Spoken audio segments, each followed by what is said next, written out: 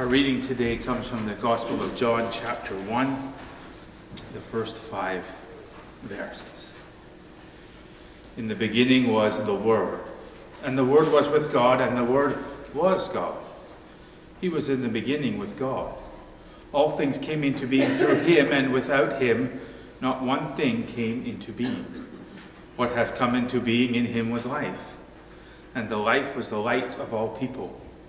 The light shines in the darkness, and the darkness did not overcome it. Amen. This is the word of the Lord. Thanks be to God. Let us go to God in prayer. Gracious God, be with us this day that we may hear your word, and may we live out your word now and each day. Amen. In this morning's scripture, we learn that in the beginning was the Word. Now, to all of our detriment, that got me thinking. We as a society put a lot of time and effort into our words. What we do, how we succeed or fail, depends largely on how we are communicating with one another. And then I got to thinking, as important as a written or spoken word is, we, the English speaking people of the world, sure make our words ever so complicated. Let me give you some examples. There is no egg in eggplant. There is no ham in hamburger. There is no pine and no apple in a pineapple. And I don't know what is in a hot dog, but I'm, I'm relatively sure it contains no canine parts of any kind. English muffins are not made in England. French fries were not invented in France. And I have no idea where a Milky Way candy bar comes from. Quicksand works slowly. Boxing rings are square. Guinea pigs are neither from New Guinea, nor are they pigs. Why is it that writers write, but fingers don't fing, and grocers don't gross, and hammers don't ham? If the plural of tooth is teeth, why isn't the plural of booth beef? One goose, two geese. One moose, two meese. And why isn't cheese the plural of choose? If teachers taught, why don't preachers prod? If a vegetarian eats vegetables, what does a humanitarian eat? When a house burns up, we say it burnt down. You fill in a form by filling it out. Why do our noses run and our feet smell? Why is a slim chance and a fat chance the same thing, but a wise man and a wise guy are the exact opposites? Why is it that when I wind up a watch, it starts, but when I wind up a letter, it finishes? And why do you get in a car, on a plane, and take an Uber?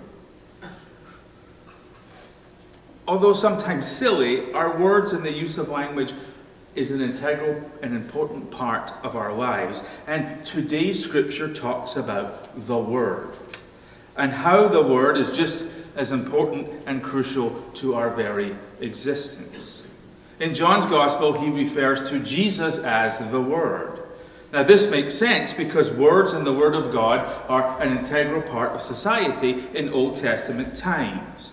Isaac had been deceived into blessing Jacob instead of Esau, and nothing could be done to take back that word of blessing.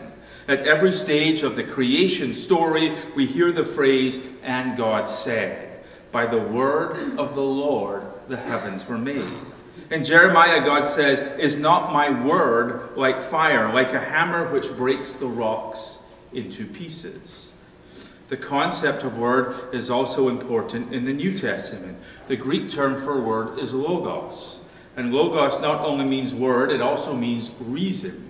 In Greek, these two words were closely intertwined. When logos was used, the word of God and the reason of God were closely connected. And this created a powerful image of God and God's word to the world. Barclay puts it this way John is telling us that Jesus is none other than God's creative, life giving, light giving Word. Jesus is the power of God which created the world and the reason of God which sustains the world. So let me read Scripture again, but let's put Jesus in the forefront of our minds. In the beginning was Jesus, and Jesus was with God, and Jesus was God. Jesus was in the beginning with God. All things came into being through Jesus, and without Jesus, not one thing came into being. What has come into being in Jesus was life, and the life was the light of all people. The light shines in the darkness, and the darkness did not overcome it. How does Jesus as the Word help us? What does that mean for our Christian living today? And how do we understand Jesus as the Word without, being, without it being complicated? Well, let's break down the verses and see what we learn. In the beginning was the Word, and the Word was with God, and the Word was God. That means that Jesus was with God from the very beginning.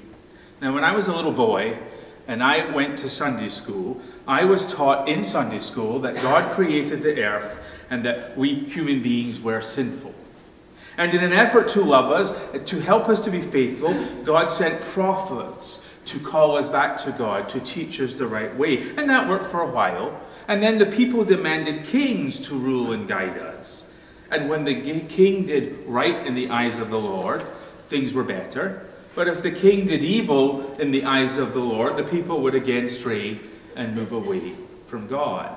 Then God sent the people judges, extraordinary individuals of God who tried to remind others of God and what God's message was about.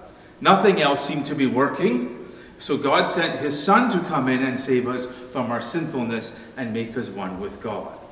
I thought that way because I was taught that way that Jesus was sent after all the other methods of teaching about God failed. I thought that for years until I learned that in the beginning was the Word, which means that Jesus was not some last chance effort to make humanity understand what God was all about. God's grace, God's mercy, God's forgiveness, God's tremendous love for us was in place from the very beginning. Jesus was not called in, Jesus was always part of the plan, which means that God's love has always been, God's love has never diminished, and God's love will not now or ever disappear. In other words, God's love is so strong that Jesus, the one who shows us God's love, the one who lived out God's word, the one who sacrificed his very life so that we could be in a right relationship with God, the one who is still a living presence for us. That one was here in the beginning with God, and that one is God. If all that is done out of love for us, then we should understand how much each of our individual lives means to God. God, our Creator, our Father, God that loves us so. All things came into being through the Word, and without the Word, not one thing came into being. And why is that important for us as Christians? Because we believe that this is God's world that we are entrusted to care for all that is God's. And that God is not some distant, heartless landlord that we never see. God is intimately involved in this world. We believe that it's our sinfulness, our selfishness, our desires, our pride that leads to the corruption of God's home. We believe that as we travel along through our journey of faith, we can be so thankful for this world that God has given to us.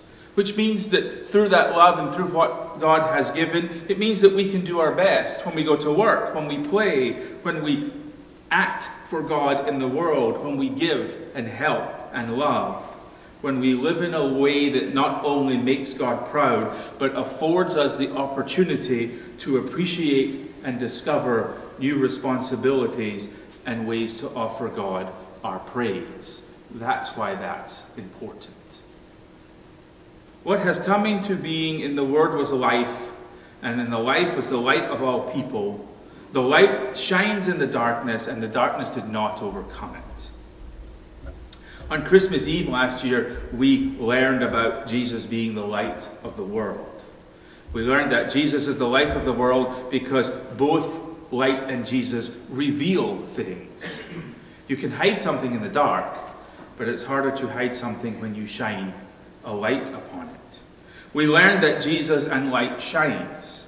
The sun has been shining in the sky for billions of years, and the Son of humankind has been shining in our lives since the very beginning. We also learned last year that the thing about light and Jesus is that light and Jesus makes things grow. In Christ, we grow into likeness of God each passing day. So Jesus is the light of the world because Jesus is revealing, because the light of Christ shines, and because Christ's light empowers us to grow closer to God each day. But what about that verse today that says, The light shines in the darkness, but the darkness did not overcome it? If Jesus is the light, then what is darkness? Well, darkness would be anything that would go against, that would be counter to the light. Evil acts, sinful ways, bad behaviors, even a lack of understanding. Our darkness is our jealousy, our ignorance, our apathy, our neutrality, our indifference, our hatred. And it's not just these things that are opposite to a life with Christ. The darkness goes out of its way to get rid of the light. We tried it when Christ walked the earth. People did their best to trap him, to discredit him, to betray him, to deny him, even to crucify him. And in the years since Jesus walked the earth, there have been dark times for the world times of war and uprisings, times of sickness and plague, times of evil people spreading darkness, times of fear and terrorism, times of hate and suffering. Even during our own faith journeys, whether by our actions or through no fault of our own, we have all faced dark moments. Times of grief and sickness, times of despair and loneliness and fear. Each person here has faced their own world of pain. And if you put all of that together, what we discover is that light is still shining. In the beginning was the Word, and the Word was with God, and the Word was God, and all things came into being through him, and the light shines in the darkness. In other words, there is nothing we can do to stop God from loving us. We can't make God love us, and we can't extinguish God's light. Once upon a time, there was a man and a son who were on a train. And this train that they were riding in was full, as you would say in, in Britain, it was chock a block. It was crammed full of people Old people, young people, big people, tall people, rich people, poor people, educated people, uneducated people, all riding on the train. The man in our story was in his mid to late 60s. His son that was traveling with him was in his early to mid 30s. And they're traveling on this train. And any passenger on the train could tell that the boy was just he was just a little bit off, just a, a little bit different than what we would all say was normal. As they're driving in the train, the boy is jumping up and down saying, Daddy, Daddy, look at the grass. Look how green it is. Look how blue the sky is. If you look outside, you can see the tracks of the train and you can see the wheels of the train in the tracks moving slowly. Isn't that great? Now, this boy's personality, his behavior, it kind of spooked the passengers a little bit because he was behaving like he was four. And the father just took it all in stride. And the passengers were starting to feel uncomfortable. And then it started to rain. And the boy got excited and he opened the window on the train and he stuck his head out and he stuck his tongue out so he could feel. Dad, you can see the rain and you can see it falling on your tongue. Isn't this wonderful? Well, some people started to move to another part of the train. And with the window open and the rain coming in, it was the rain was coming into the train, and it got one lady's coat all wet. And because the rain was now coming in and getting things wet, people more people started to move, and people started to make comments about this grown man who was behaving like he was six. And, and with the excuse of her coat being wet, the lady decided to speak up. And she said to the man, she said, I understand that your son is special and different, but it doesn't give him any right to ruin our train journey. Maybe you need to go home and take him to a hospital that can help with special people his age. And the man's first reaction was one of anger, but he decided not to give in to that, so he took a deep breath and he smiled and he said to the lady, Funny you should say that. We just came from a hospital. My son just had an operation a week ago and we're returning home. And some of you are with me already in the story. We, we are returning home for the first time a week ago, for the first time in his 32 years of life, he had an operation that gave him sight. And you are experiencing with him everything that he is seeing for the first time in his life. What would we do if we had made that mistake and we were the ones that spoke up that day? How wonderful would it not have been if we had been on that train and we got to share the joy of someone whose life was a world of darkness and then suddenly saw the light? How lucky are we that God doesn't see and judge us by the darkness in our lives? How blessed are we that every day God's eyes are fresh, new eyes, seeing us with those fresh eyes for the first time every day of our lives. And how special are we that we can be called to do the same. Let us pray. Gracious God, be with us.